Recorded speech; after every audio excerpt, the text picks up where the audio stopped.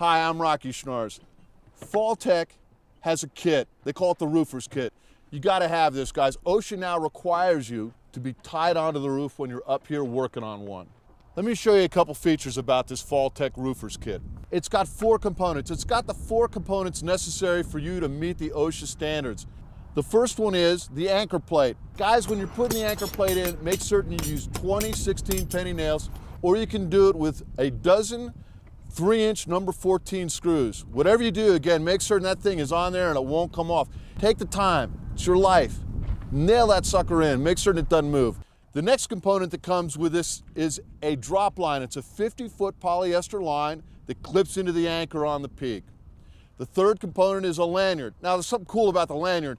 This clutch is set up to run up the line freely. So if the drop line is over the roof and you walk up the roof, the clutch will follow you. And then if by any chance you fall at the top, you're not gonna fall the 20 feet before it actually stops you. If you wanna get down, you grab the clutch and you squeeze it that way. It allows you to go down. But as soon as you let go of it, the clutch re-engages with the line and it won't go down. The last component that comes with this kit is the harness itself. It's two inch nylon webbing. It's easy to get into. Check this out. It's got belt buckles regular buckles, okay? Fast to get in and out, adjust them real quick.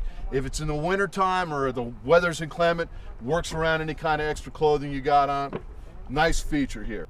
Once you start wearing a harness, you're gonna enjoy it more because it's gonna keep you more secure. You'll be able to work faster and work better. You're gonna like this product.